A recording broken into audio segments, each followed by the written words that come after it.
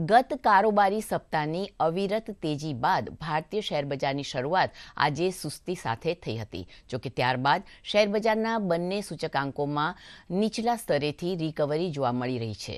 શરૂઆતી કારોબારમાં ભારતીય શેરબજારનો સૂચકાંક Sensex છેતાળીસ point ચાળીસ પોઈન્ટના ઘટાડા સાથે એકોતેર હજાર ચારસો સાડત્રીસના સ્તરે ખુલ્યો હતો, જ્યારે નેશનલ શેરબજારનો સૂચકાંકનો નિફ્ટી એકવીસ પોઈન્ટ પંચ્યાસી પોઈન્ટના ઘટાડા સાથે એકવીસ હજાર ચારસો ચોત્રીસના સ્તર પર ખુલ્યો હતો.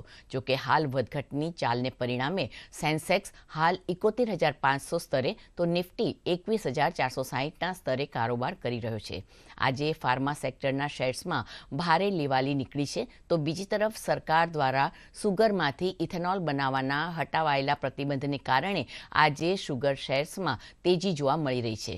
આ તરફ આંતરરાષ્ટ્રીય બજારોમાં એમસીએક્સ પર સોનાનો ભાવ ચારસો ચોર્યાસી તો ચાંદીના ભાવમાં પાંચસો નેવું રૂપિયાનો ઘટાડો બોલાઈ રહ્યો છે, જ્યારે ડોલર સામે રૂપિયો હાલ બ્યાસી પોઈન્ટ અઠ્ઠાણું પર કારોબાર કરી રહ્યો છે.